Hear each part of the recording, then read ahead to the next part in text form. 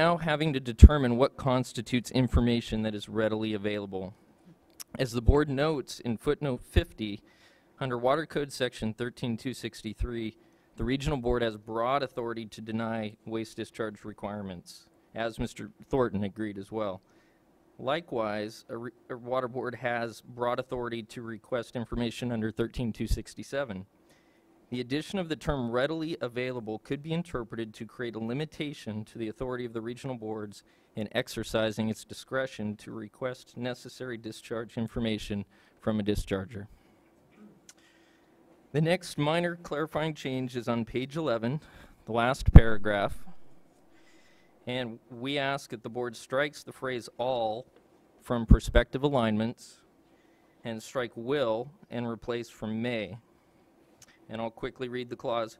For example, if a regional water board were to determine, based on evidence in the administrative record, that all prospective alignments for subsequent phases of a linear project, we suggest striking all, so prospective alignments or future projects that will result from a currently proposed project will likely lead to additional future discharges of waste, and then so on, from which a regional water board may not be able to adequately protect waters of the state, rather than the state board's use of the word will. The regional board interprets this clause to suggest that a regional board must determine that all prospective alignments must lead to likely future discharges. Our concern is that in some cases, the regional board may not have information on future alignments to enable it to make the necessary determination to evaluate water quality impacts. Or a prospective alignment could be proposed by a discharger but ultimately not implemented. The board believes that justification for denying WDR should not be limited to only those circumstances where the discharger failed to give a single option that would avoid impacts, however improbable that option might be. The final requested change is to reword page 12, the last paragraph that begins, the paragraph that begins with, there is a heightened need. And I won't read through all the proposed uh, changes to that. Uh, you have it before you, and um, the parties here have a copy of that as well. The concern with the language that was proposed by the board on Friday in the late editions is that we believe that the board may have inadvertently shifted the burden, burden to the regional board, making it the regional board's obligation to show why a project may not protect water quality. As the State Water Board's order notes, the Water Code provides that a discharge is a privilege, not a right. This language suggests that instead of a regional water board supporting a decision based on the weight of the evidence and making findings that bridge the gap between the facts and its conclusions, the regional board must now make findings, in some cases based on incomplete information, that it has no other possible authority to address future discharges. A regional board may, as it did here, find that the project the applicant proposes to build is different from the project it proposed in the report of waste discharge. Because a regional board may not have enough information before it on subsequent phases of a project to determine how and whether to permit the project, we believe that it's appropriate for the regional board to make findings that it lacks the information that it needs to evaluate all impacts, and so that it can address those impacts in a comprehensive manner. And there's a footnote uh, that we inserted as well. So in summary, and I, I would like to add that Mr. Thornton himself in his comments stated as much, that the way the order reads now, the regional board would find it impossible to meet the standard that you've outlined. And I don't think that was the board's intent in that change sheet that went out. So we respectfully ask that the board consider these changes to the order. Thank you. Any questions from the board? Uh, you, okay. We will uh, then go through the remainder of the cards, and then we'll have a discussion uh, after afterwards. But I, I would like to get uh, counsel's uh, response to both uh, requests. I would as well. And could I have a copy, electronic or even paper, of what the regional board council just read? It would be nice to have a copy, thank you. Here, th- yeah, and let, let me.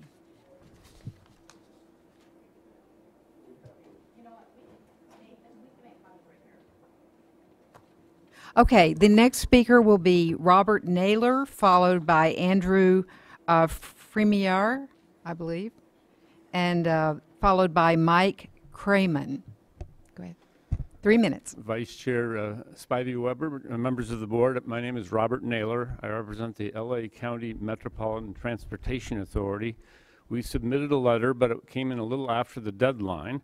So I was going to read the letter, but in, in the interest of time, I, I would just summarize and read a couple of sentences which I think make the major point. Um, the, the general thrust of the letter relates to phased projects. We're very concerned about the impact on uh, denying WDRs for first phase of the project based on possible impacts of uh, future phases. So here's the guts of this letter, and it's from Arthur T. Leahy, the CEO. Further, the State Water Resources Control Board should make clear that the San Diego Regional Water Quality Control Board should not deny the WDR application based on the speculative impacts of future phases of a project. Um, The CEQA NEPA process already requires project proponents to identify and analyze cumulative impacts of reasonably foreseeable projects. To avoid confusion in the regulated community, a regional water quality control board should not prejudge the water quality impacts of future phases of a linear project when it is considering a WDR application for a preceding project.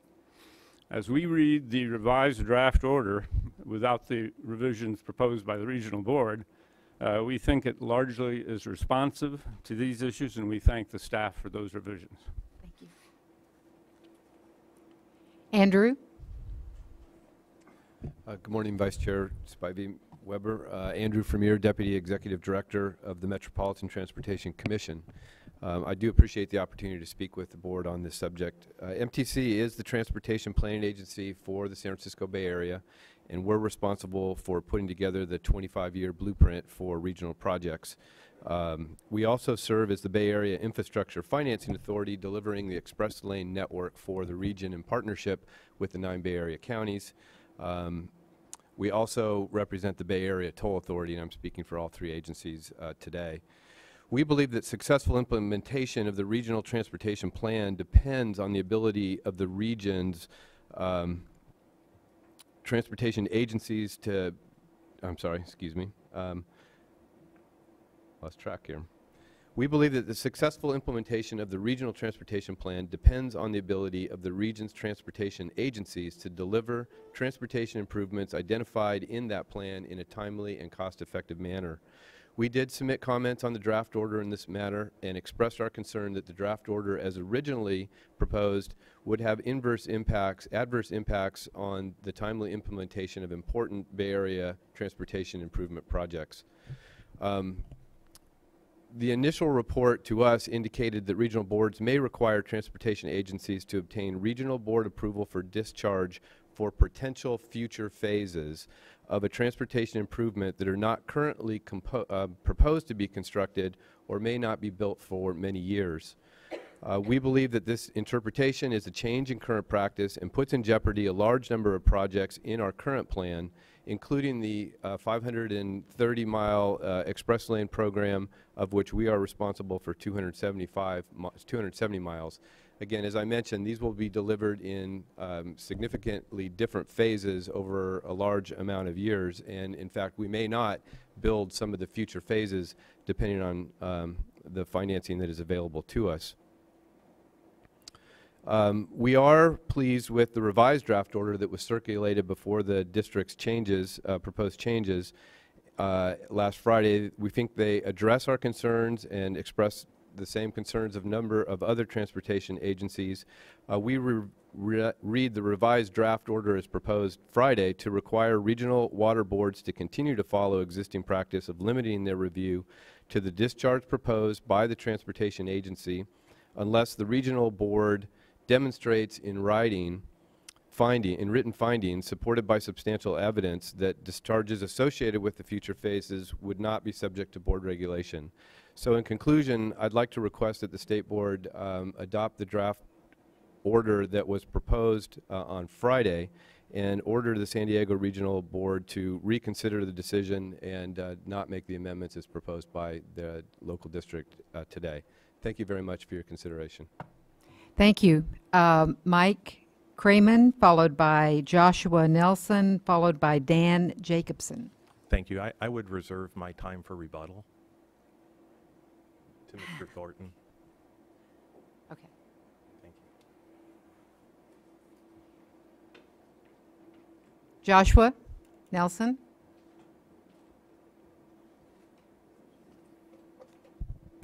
Good morning, uh, Joshua Nelson with Best Best and Krieger. I'm here today on behalf of the Riverside County Transportation Commission. Um, RCTC uh, would like to take this opportunity to comment on the draft order in, in the present matter. Um, the majority of our, our we previously submitted a comment letter, and the bulk of our comments were either addressed in the revised order or uh, mentioned by the speakers before. Um, but we did have two additional concerns which I wanted to uh, focus uh, my time on.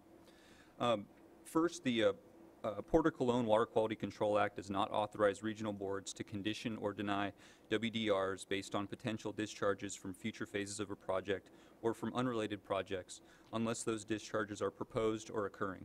The revised draft order, however, expands the regional board's authority contrary to Porter Cologne. It allows regional boards to, to condition or deny WDRs even if a discharge is not proposed or occurring. For example, under the current draft order, a regional board may deny WDRs to a transportation project if the owner of private property adjacent to the project is likely to develop the property as a result of the transportation project. In such a case, WDRs may be, may be denied to a public agency because of discharges that may result from the future actions of a third party. Such authority is contrary to Porter Cologne. To some extent, most development uh, will make additional future discharges more likely. Porter Cologne, however, does not authorize regional boards to deny or condition WDRs based on likely discharges, but only on actual discharges um, and proposed discharges. Second, um, denying or conditioning WDRs based on discharges from future actions will result in inconsistent and potential er- potentially arbitrary actions by regional boards. In phased transportation projects, agencies such as RCTC uh, may not have sufficient readily available uh, information to accurately reflect potential future discharges, allowing regional boards to um, deny or condition WDRs based on partial information expands the regional board's authority beyond that authorized by Porter Cologne and may require agencies to expend significant sums designing project phases that may never occur in order to address potential discharges. For example, under the cor- uh, current draft order, a regional board may deny WDRs for one portion of a transportation project because future pha- uh, phases may result in discharges, even though future phases may never occur. Future phases may be designed to avoid discharges. Additional technology may be available to address dischar- discharges, and regional BMPs may be constructed to address such discharges. It is improper to deny WDRs for one portion of a project merely because discharges from future phases are likely. RCTC asks that the board further modify the revised draft order to clarify that a regional board may not deny or condition WDRs based on future discharges. In the alternative, RCTC asks the board to clarify that WDRs um, may only be denied or conditioned based on future discharges when evidence demonstrates that issuing a WDR would necessarily cause a discharge that a regional board could not prohibit or otherwise restrict. Thank you. Thank you very much. Uh, Dan Jacobson, and then there will be a group, um, and you know who you are, starting with Bill White, uh, Damon Nagami, um, Elizabeth uh, uh, Gol- Golson, I think it is, um, Zachary Plepper, Stephanie uh, Civic Quinn, and uh, Dan Silver. Go ahead. Good morning, honorable members of the board. My name is Dan Jacobson. I am a re- retired County of uh, Orange appointee to the Richard and Donna O'Neill Land Conservancy. The Land Conservancy is on the, on Rancho Mission Viejo, which is where the homes are being developed that the 241 uh, would service. I associate myself with the comments of the regional board And I'm mainly here as a friend of the late Richard J. O'Neill, who was the uh, patriarch of Rancho Mission Viejo. And while he supported the development, the, fut- the further development of his ranch, he was dead set against the, uh, the 241, uh, the, project.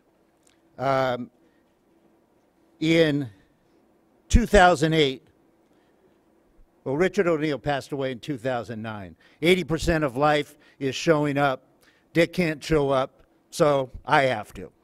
Uh, in 2008, Dick wrote a letter to the Coastal Commission, and I'd like to read it to the board.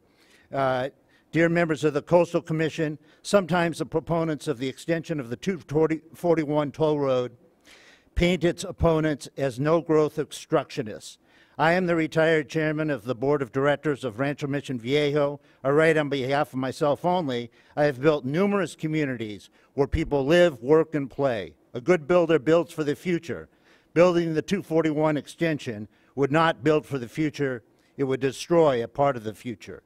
The toll road extension would plow through the Donna O'Neill Land Conservancy, 1,200 acres of land that is key to the San Mateo watershed and that is supposed to remain in its natural state, state into perpetuity. If you allow construction of the toll road, you will allow destruction of habitats that have been supported, that have uh, supported teeming life for centuries. Please understand that the toll road will cut through those habitats and will destroy the life that the Conservancy was meant to preserve. Thousands and thousands of California children visit the Conservancy every year to learn about the life that the toll road will destroy. The toll road will destroy not only the future of the now booming life on the Conservancy, but it will also curtail the future of the children who will no longer be able to see and learn about that, uh, that life. So the life in the Conservancy will be ruined and the lives of uh, children of California will be diminished.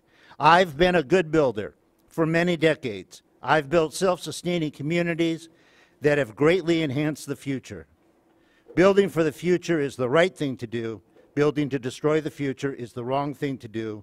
Building the 241 extension is the wrong thing to do. Sincerely, Richard J. O'Neill, Chairman of the Board of Directors, retired, Rancho Mission Viejo. Thank you, very sir. much. Uh, Now we have a group that's, uh, s- so Bill White is first, Damon will follow. Good morning. Uh, Bill White, Shute Mihaly and Weinberger, representing the Coalition to Save San Onofre. Uh, The coalition is a group of uh, leading environmental organizations that have come together to oppose the Foothill South. Uh, I'm not going to give the full presentation because it looks like the issues have been quite narrowed at this point. Um, The your staff has done a fantastic job of dispensing with the TCA's original argument, which is that the regional boards don't have the legal authority under Porter Cologne to uh, uh, deny a WDRs based on improper segmentation of a project. So that, I think, is well established. The question that's left, and the question that is really important for you to get right at this point, is what is the standard, what is the guidance that we are going to give to the regional board in making that determination. And I know that there are a lot of transportation agencies that have expressed concern about that standard.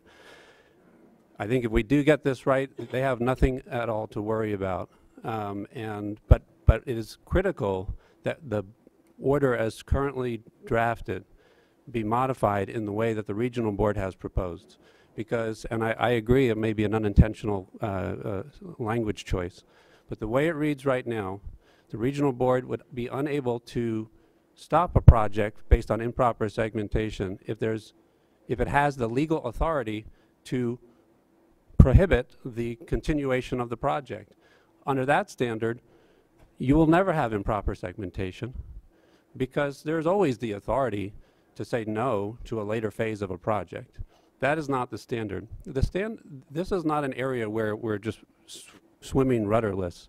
This is a very well-developed area of the law. It hasn't come up very often in Porter Cologne, but it has come up in the NEPA context, the concept of improper segmentation. And one of the hallmarks of an improperly segmented project is that the lack of independent utility, where a project does not make any sense on a standalone basis. That has been amply demonstrated here by the record. TCA has not um, even attempted to persuade you otherwise. They want to say that the, the regional board has no ability to do anything about it. Under that logic, you could build half, you could propose a half a bridge, and have to, you would, the regional board would be forced to, to um, process that application, even though the other half of the bridge is uh, essentially inevitable. Yes, they would have the legal authority to say no to it, but as a practical matter, that authority is severely prejudiced, and that is the purpose behind that standard. And it only affects the egregious projects. It doesn't affect the normal phased projects, which have had to deal with this standard for decades. So I urge you to adopt the regional board's revisions. And on the question of a hearing, um, it is completely unnecessary to have a new hearing and reopen this matter. This is not a, uh, the, the regional board's decision was not a final decision. It was an administrative decision. You could make the final decision today based on the record if you so chose. Okay. We've had a lot of hearings and we don't need any more. Thank you Thank very you. much. I think, uh, Dee Dee, did you have a question? Uh, He just uh, clarified. Okay, Um, great. No. Hi, good morning.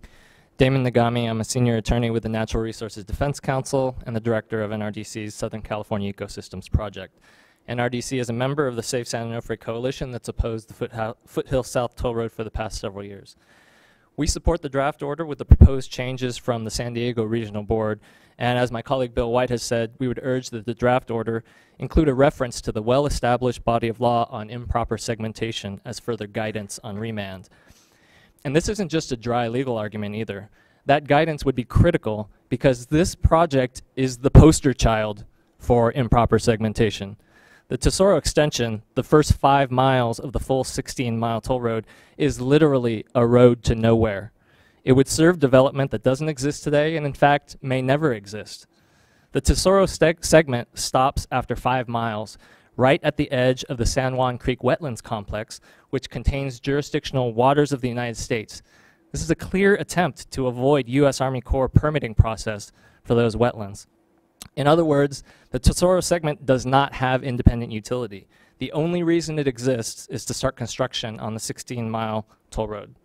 To say the sky is falling and that all of these other transportation projects won't be able to get waste discharge requirements for phases of projects is utter nonsense.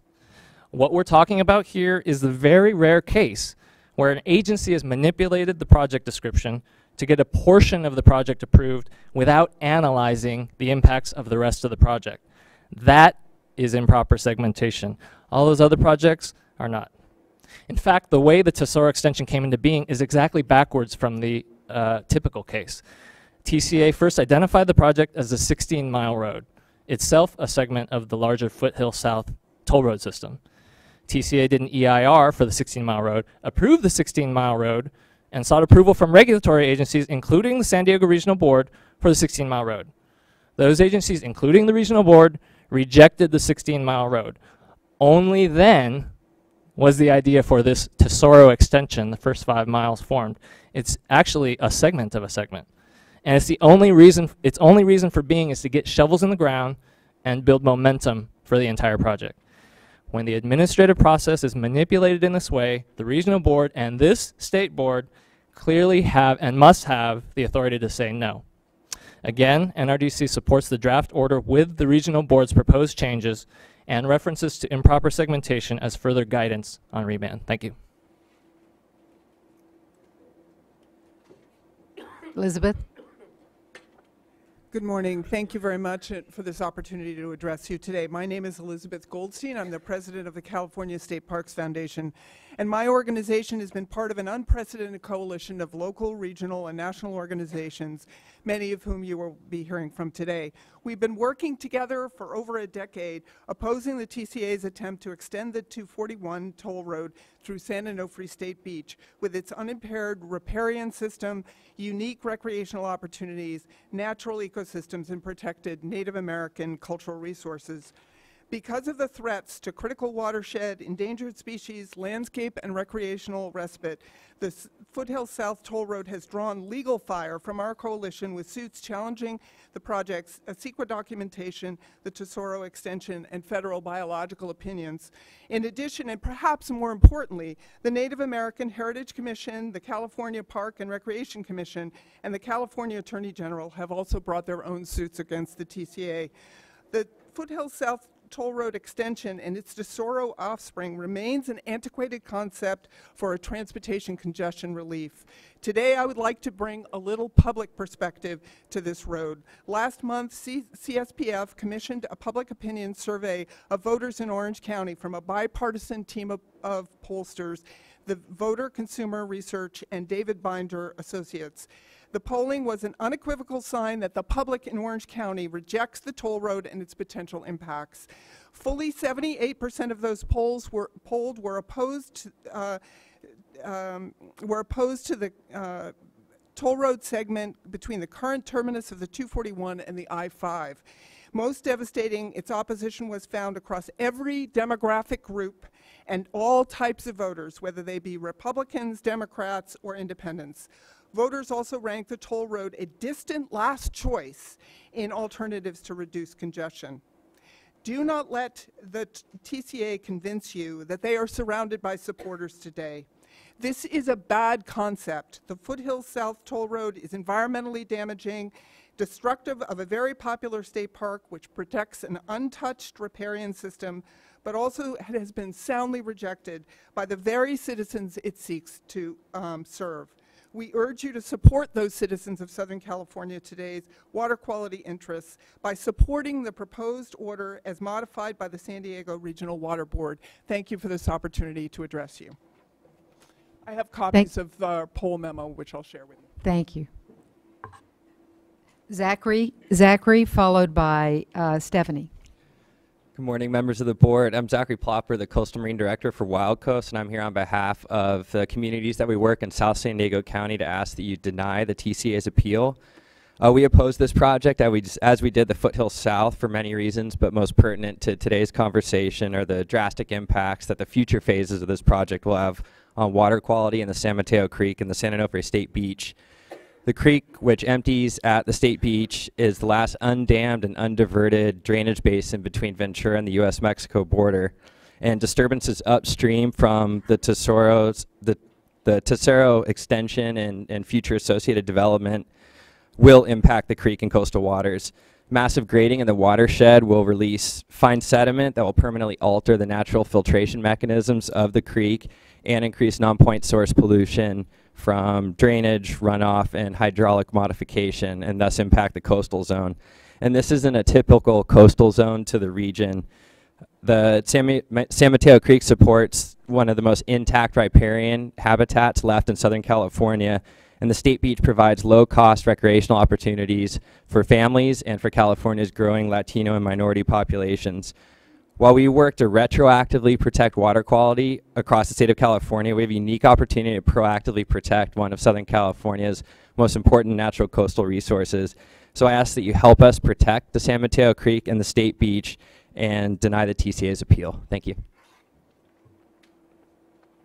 Stephanie? Good morning, honorable board members. My name is Stephanie Sekich Quinn. I am the California Policy Manager for the headquarters of the Surfrider Foundation. I'd like to kind of further tease out some of Zach's points and what uh, Director Gibson had referenced to the original regional board's denial of this project. Um, in 2008, the TCA's 401 certification was denied by the regional board for three specific reasons. One was, and this is a direct quote from the report, concerns about the runoff management plan, concerns about habitat, habitat mitigation plan, and water quality monitoring plan.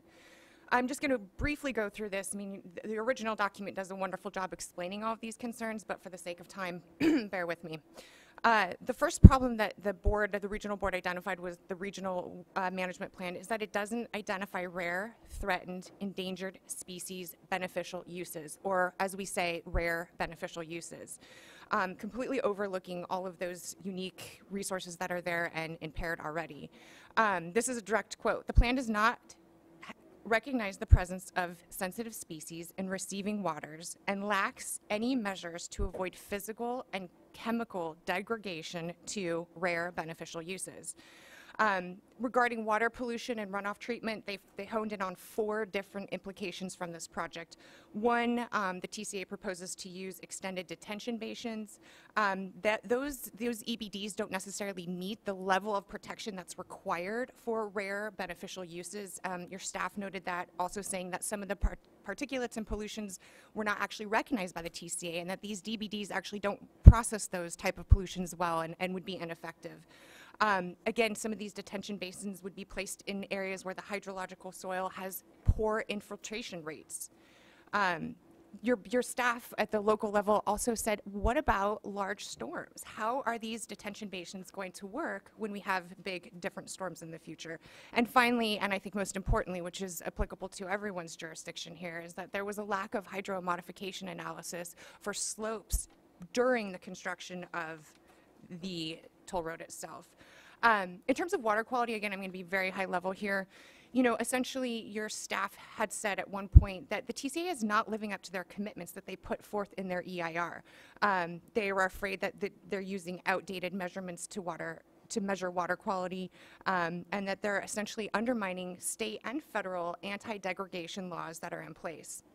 And finally, um, in terms of biological monitoring, there's 12 endangered federally listed species there. The TCA has absolutely overlooked that. There's some more high-level points that I'd like to give you to that, but unfortunately we don't have time.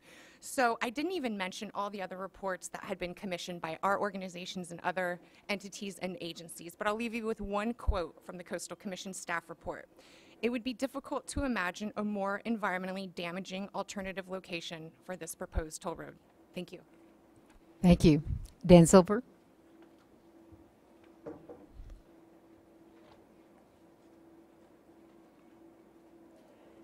After Dan, uh, Alfredo Ramirez, um, Dave uh, Costanti- Castaneda, I think. Diane, okay, I'm sorry. Can't tell. Go ahead. Uh, Good morning, Honorable Vice Chair, members of the board. Dan Silver, Endangered Habitats League. The record before the Regional Water Board shows substantial evidence that the real project here is the full 16-mile toll road that would cause substantial damage to water resources and beneficial uses. San Onofre State Park, which this road would bisect, is, as you've heard, an irreplaceable coastal assemblage of wetland, estuary, and upland resources with 11 listed species. As you've heard previously, the, the regional board did not accept the uh, toll road's proposed mitigation, and yet the TCA wishes to begin what it terms the 241 completion project anyway. As you've heard, it has no independent utility, and the Tesoro is simply a circumvention of full review. It is a foot in the door to something that was denied by two major agencies. Now, sometimes I hear, oh, TCA has abandoned the 241. We're, we're really not thinking about it anymore. Well, I passed out the map on their webpage, which is the completed, they call it the completed 241. This is the road through the state park, right down there. I'll turn it around here. But it's not just something on their webpage. This completed 241 project is in all of their budgets and all of their bond documents. And why haven't they revoked the CEQA document for the full road if they're really not thinking about it anymore? Now, I'd like to point out that the Coastal Commission and, and Commerce denials focused on the presence of feasible alternatives that spared water resources and beneficial uses. As you've heard, the public agrees. Only 8% choose a toll road option where 86% want to, want to improve Interstate 5, improve streets, and have more transit. So the problem here is that the toll road extension would foreclose vital transportation options that spare the water resources this board is supposed to protect. That is egregious streamlining of a larger project, which the regional board wisely did not countenance. So we ask you to move forward with the proposed order, but with those critical revisions put forward by the regional board. And by doing so, you will not restrict regional board's authority to protect the public's water quality. All of us would be available for questions. Thank you. Thank you very much. I'm sorry, just, just a little point before we move on. I just need to note that this this particular handout that was just handed to you is not in the administrative record on this matter. Okay. So, thank you. Thank you. Hello, I'm Hello, I'm Alfredo Ramirez, Executive Director of the United Atlas of the Pacific Ocean, or WAPO. On behalf of WAPO, I ask you to deny the TCA's appeal. We are a nonprofit organization in the United States and Mexico that promotes youth surfing in both Californias through surf competition, cultural exchange, and education. Many of the youth we work with in the United States are from lower income Latino and minority communities in South San Diego County. Because of water quality issues there, these kids have limited access to a clean surfing environment, and we rely heavily on San Onofre State Beach as a natural and clean place for these kids to surf.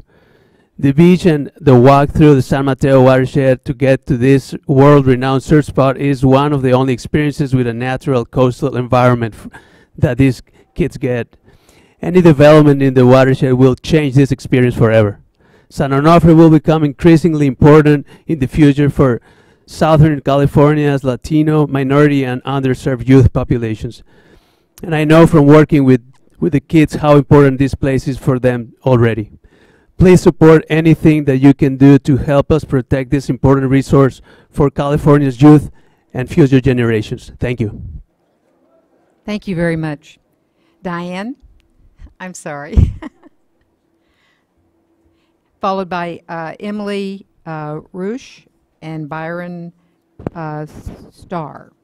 Good morning, uh, members of the board. My name is Diane Castañeda, and I'm the Marine Coordinator of Wild Coast. We're a marine conservation organization based in Imperial Beach, California. And this is my daughter, Diane Alessandra Rodriguez. And I'm here not only as a um, Wild Coast employee, but I'm also here as a mom and as a person that has been fighting for to save San Onofre because of the toll road since I was in college. Uh, uh, has been a, an amazing spot that I discovered when I was in like college when I used to go with my friends to go camping or to go picnicking, surfing, and I know that I've been in these uh, hearings for a long time with like the same thing, just different hearing all the time, and I want I brought my daughter here today so she knows that I'm here fighting for her and for her to know that I don't want her to hear about trestles or, or San Onofre or the water, Ma- San Mateo Creek in textbooks or in stories. I want her to experience the same spots as I did when I was young. And I just want you to deny the appeal that the TCA has and support the Regional Water Board. Thank you. Emily? Hi, uh, I'm Emily Rusch. I'm the Executive Director of CalPIRG, the California Public Interest Research Group. Um, and I am, am here today because last week, CalPIRG Education Fund released a new report, Highway Boondoggles, Wasted Money in America's Transportation Future. And we had a set of our analysts nationally looking at um, transportation projects across the country that did not make sense based on the financial um, paperwork and the traffic projections. Um, and we selected the Tesoro extension as one of the projects highlighted in the report. As previous speakers have indicated, the Tesoro extension is merely the first 5.5 miles of the failed Foothill South uh, project that would have caused major damage to water resources and other natural resources. Um, and I want to associate my comments with the San Diego Regional Water Quality Board's um, amendments um, today. Um, the Tesoro extension was chosen as a boondoggle because the TCA is a financial mess. Their traffic projections on both its toll road systems, the 241 and the 73, overestimated the number of people that would use its toll roads. And TCA has actually risked, risked default on its bonds, according to an analysis by the State Treasurer's Office. Simply put, these toll roads are not paying for themselves. Even with the $1.7 billion in public subsidies identified the conservative Pacific Research Institute and taxpayer subsidies to maintain and repair the toll roads, they are still money losers. To avoid default, TCA broke its promise to make the 241 toll road toll free by 2040. Last year, the Orange County Register reports that the TCA refinanced its bonds on this toll road, extending toll collection another 13 years at an additional cost to motorists of $1.8 billion. When you combine the refinancing costs of the 241 with the recent proposed refinancing for TCA's 73 toll road, the combined additional cost to motorists will exceed $3 billion. This is an unconscionable, unconscionable bailout that motorists will have to pay for decades. Now the TCA wants to go further into debt to pay 200 million plus interest costs for the Tesoro extension, which is inherently part of this larger project. As we note in our report, this would add to the financial li- liabilities of an agency that is already in trouble. So I know that you're here today looking at a water permit, but I wanted to bring some context that this, we don't believe that this project stands up um, for traffic projections either, as well as for financing. Um, we don't think this, this should be supported by motorists or by taxpayers. Um, and so I urge you to support the San Diego Regional Water Quality Board's amendments. And I brought three copies of the report. I'm sorry, I'm a couple short. Thank you. Good morning, Madam Vice Chair. My name is Brian Starr. I'm the Senior Vice President of Government Affairs for the Orange County Business Council. On September 9th, the uh, Orange County Business Council submitted comments to the State Water Board uh, regarding your first draft Is, order. is, is the, Is this move it on? close to you. Oh, sorry. Okay, there. Uh, regarding your first draft order, um, we're pleased that the revised order uh, issued this past Friday ad- ad- addressed a number of the concerns of not only the business community but the transportation agencies. Um, we are a little concerned uh, that the regional board has submitted last-minute comments. We haven't had a chance to thoroughly review those, so hopefully that's not a major part of your uh, consideration today. Uh, transportation infrastructure is critical to our state's economic recovery, and Orange County Business uh, Council supports the Tesoro extension and acknowledges that any proposed future alignment related to this project will be brought back to the regional board for permitting on its own merits. Uh, we thank you for your time and consideration for this matter. Thank you. Thank you. Ron Kingston, uh, followed by Jaime Minor. Good morning, uh, members. I'm Ron Kingston, representing the uh, Orange County Association of Realtors, comprised of over 11,000 members in that county. Um, At issue for us is not the, necessarily the extension proposal, but as you see in the very beginning of the draft order, the very first paragraph, it's asking to provide factual and legal basis for a decision. Yet, the draft order goes way beyond this. And the draft order is, speculation is what causes us for reason for, to uh, testify today. Um, On pages 7, 10, 11, and 12, there is a strong suggestion to make new general rule-making authority to ask the project to look at uh, the future and for, forecast the future.